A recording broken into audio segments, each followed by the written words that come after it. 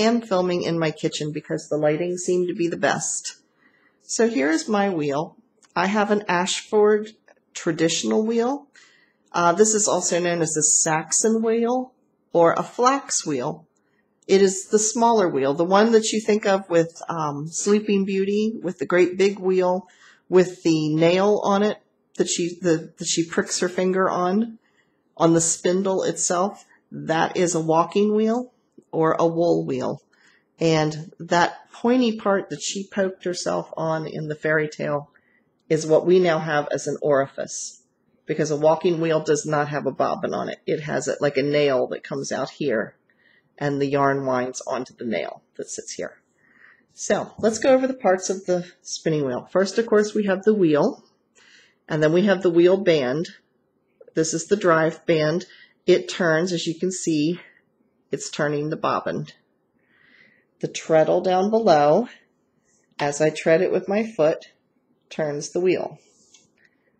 There is a mechanism on the back, which I will show you, that lifts, that is controlled by the treadle, and that's what makes the wheel move. Now let's pull this a little closer, and I'll show you the parts of the wheel. When you're threading, when you are spinning, your yarn goes in through this hole right here. This is called the orifice. This entire structure here is called the mother of all. I have no idea why, but that's what it's called. Uh, there's two poles like this, or pillars. They hold the bobbin. This is the bobbin right here. This is the fly. It spins around the bobbin. What this does is winds the yarn onto the bobbin. You can see I've got some fiber hooked to these little latches, or these little hooks. These little hooks just control where the fiber goes on the bobbin. Otherwise it would all ball up on one side. So I usually start at this end or at this end, and as it starts to fill, I move it. It just keeps your the yarn that you are producing evenly distributed onto the bobbin.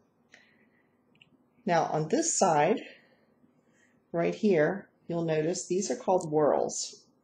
Here's the drive band. I have it on my largest whorl. There's three different sizes. They are attached, in my case, they're attached to my flyer. Um, they control how many, how many turns per rotation of the wheel. So I've got it on the widest one. If I put this on the smallest, which is right here, this is going to turn more times for every time that I turn the wheel.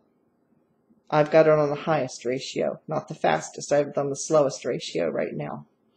And that's where I tend to have it all, most of the time. Unless I'm spinning cotton, then I might move it to here. I think I've used this maybe once, but not very often. I usually use these two.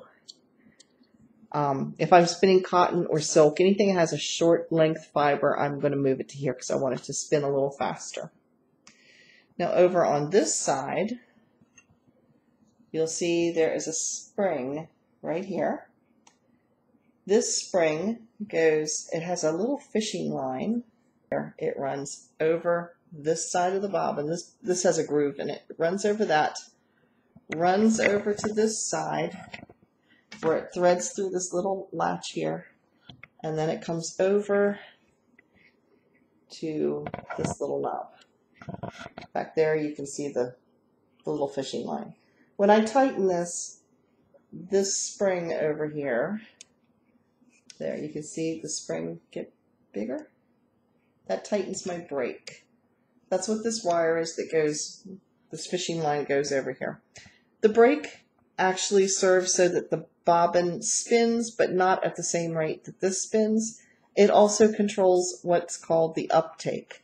The uptake is how fast the fiber, once you've spun it, how fast it's going to get drawn into and onto the bobbin. So if you have the brake set really tight, it's going to go whoop, really fast. Where if you have it set about even, it's going to go in about at this rate. So you can adjust that depending on how fast you're spinning is going to depend on how tight you want that uh, brake to go. Then we have the treadle down below. Here it is. This is what your foot goes on so that when you rotate with your foot,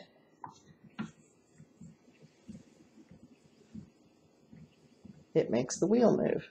And you can see the bar in the back. That bar is attached, the one that's moving, it is attached to the foot pedal and it goes up and turns the crank and you can see the crank in the back moving which in turn turns the small whorl, turns the whorl which turns the flyers which spins your yarn. Now before I get started, I do want to show you, now this is my fiber that I'm spinning. This is a roving. I'm not spinning this entire chunk at one time. I'm going to do what's called pre-drafting, which means I'm going to take this yarn or this fiber, I'm going to split it down the middle a little bit so I have a smaller section to work with, and then I'm going to pull the fibers out. Not all the way, but I don't want them spinning from a huge wad like this. This is called pre-drafting. When you kind of stretch it out a little bit, it just makes it a little less cumbersome to work with when you can do it like that. So you make it a little bit thinner and then you spin from this, mix it a little bit thinner and you can spin it from this amount. So let's get started with the different techniques of spinning. All right, here is my fiber. I have it coming out of the orifice to go onto the bobbin over here. Now, there are three different techniques for spinning. Um, I'm going to show you two of the three. The third one I'm not real good at, and I don't have the camera space to do it, but I will explain it. So the first one is the basic uh, spinning technique that, that uh, most beginners start with, and that's called a short draw, which means you're taking this hunk of yarn and you're just pulling it and feeding it into the orifice. That works. Um, you can get it fairly thin. I will demonstrate a little bit of that.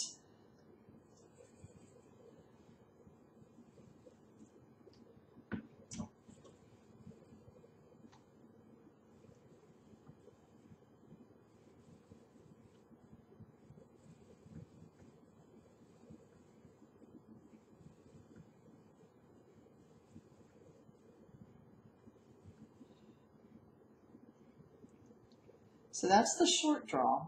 Then there is the short backward draw. Now that is the one that I tend to use the most.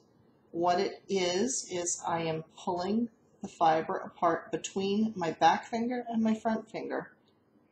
I'm pulling it out thin, letting a twist build up. Then I release this hand and the twist goes to the back and then that feeds into the bobbin and I move the next. So let me demonstrate that for you.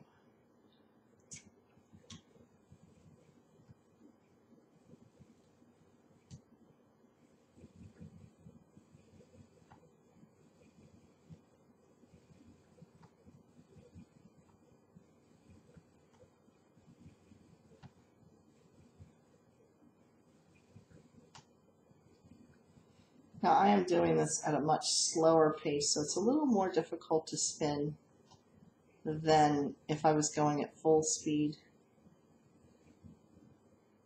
Now the last technique is the long draw, which I'm not going to demonstrate because I can't get it onto camera, but what it is, is instead of spinning and holding my hands close to the orifice and close to the wheel, you actually, this strand is much, much longer. It's arm's length and you're holding your fiber way off, it would be way off camera for me to even try to demonstrate.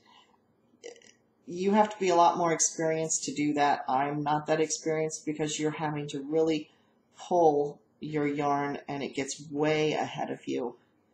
So you're spinning from quite a ways out. The most I spin away from my wheel is probably about a foot and a half.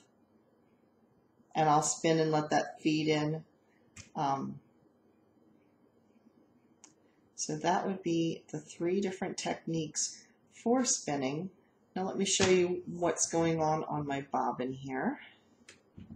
You can see right here the purple yarn that is going on right there. Here it's coming through this hook. It's going through, there's a little hole right here called the orifice, and it's coming out the other side, which is where I'm spinning. So it's actually feeding on this direction.